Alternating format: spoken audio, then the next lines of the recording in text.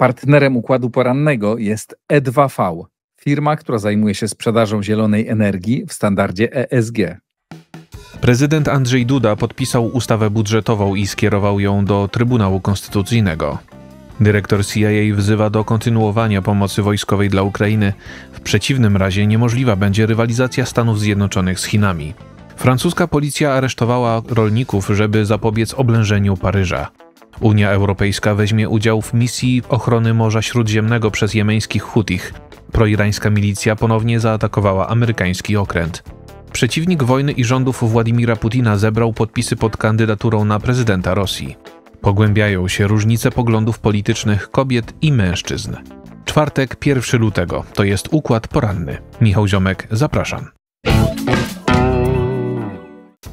Prezydent Andrzej Duda zdecydował się podpisać ustawę budżetową i okołobudżetową na bieżący rok.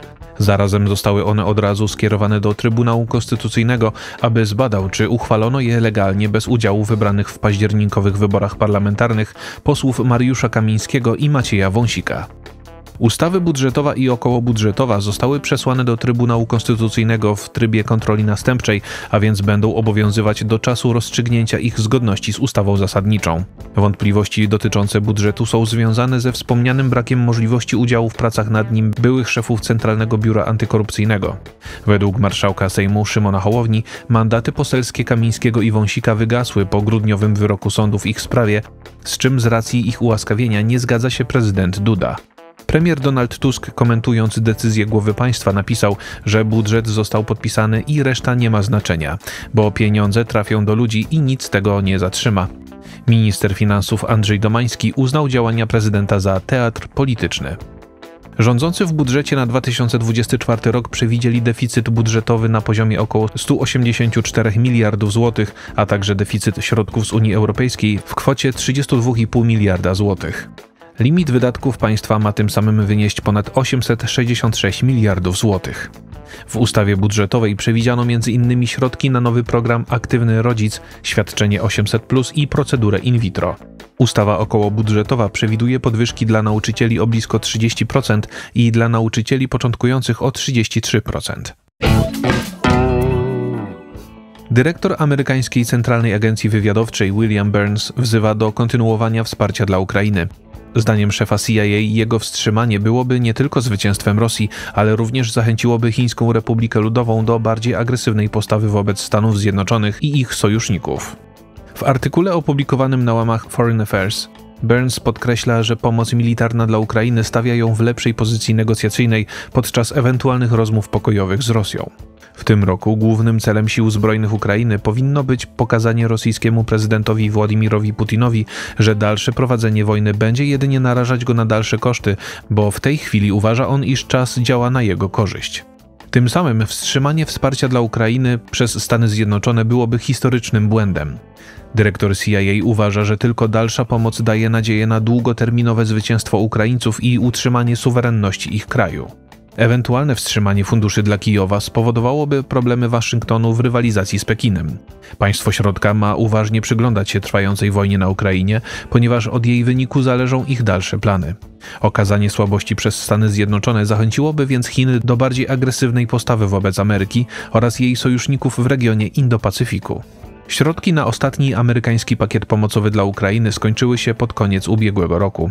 W najbliższym czasie Senat ma przedstawić nowy plan wsparcia, ale wciąż nie wiadomo, czy uzyska on akceptację polityków Partii Republikańskiej.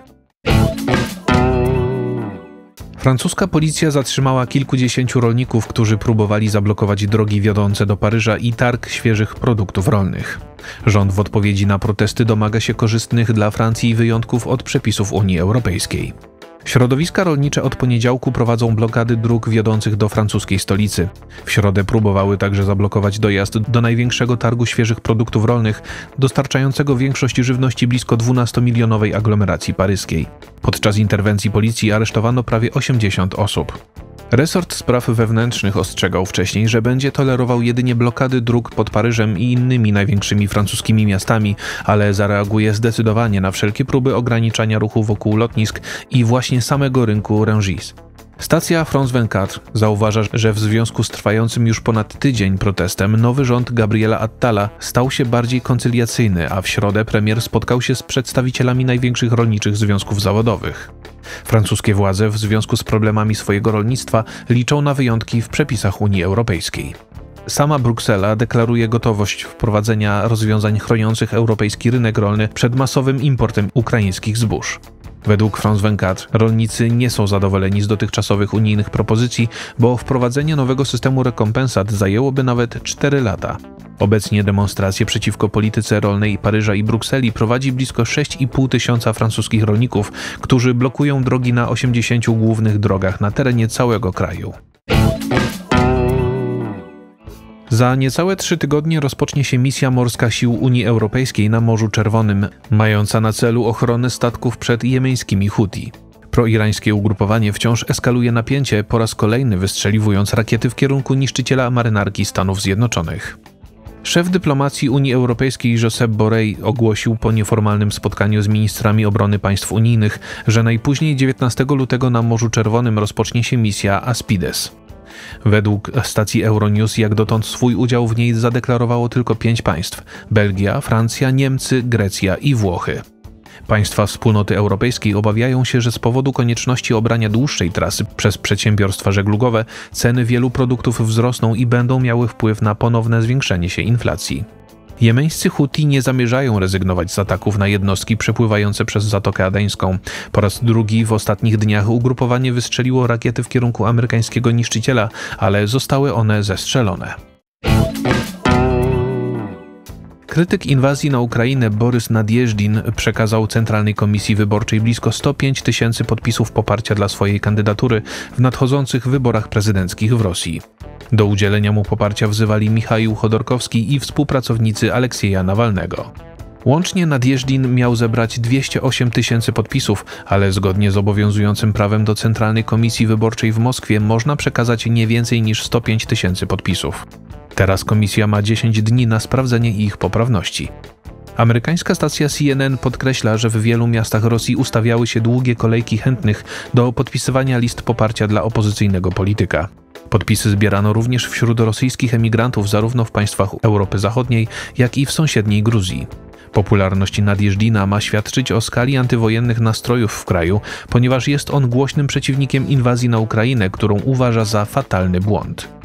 Do podpisywania list poparcia 60-letniego polityka wzywali m.in. były szef Gazpromu Michał Chodorkowski oraz zrzeszeni w Fundacji Walki z Korupcją współpracownicy Aleksija Nawalnego. Nadjeżdżin otrzymał też wsparcie Jekateryny Duncowej, której kandydatura w grudniu ubiegłego roku została odrzucona przez Centralną Komisję Wyborczą z powodu rzekomych uchybień w dokumentach. Na całym świecie młode kobiety i mężczyźni coraz mocniej różnią się od siebie poglądami. Według Financial Times może mieć to niepokojące konsekwencje dla liczby zawieranych małżeństw i dla wskaźników demograficznych. Badania przeprowadzone przez Instytut Galupa w Stanach Zjednoczonych pokazują, że przez całe dziesięciolecia wśród kobiet i mężczyzn poparcie dla prawicy i lewicy było rozłożone mniej więcej porówno. Obecnie w przypadku kobiet w wieku od 18 do 30 lat poparcie dla lewicy jest o 30 punktów procentowych większe niż wśród mężczyzn, a różnice w poglądach obu płci znacznie zwiększyły się w ciągu ostatnich 6 lat. W Niemczech różnica między bardziej postępowymi kobietami i bardziej konserwatywnymi mężczyznami wynosi także 30 punktów procentowych, z kolei w Wielkiej Brytanii około 25 punktów procentowych. Financial Times przywołuje również przykład Polski, w której blisko połowa mężczyzn w wieku od 18 do 21 lat poparła Konfederację, a głos na prawicowe ugrupowanie oddała zaledwie co szósta kobieta znajdująca się w tym przedziale wiekowym. Brytyjski dziennik podkreśla, że nie tylko w świecie zachodnim widoczna jest różnica poglądów między płciami. Coraz większą przepaść można zauważyć też w Korei Południowej, Chińskiej Republice Ludowej czy w Tunezji.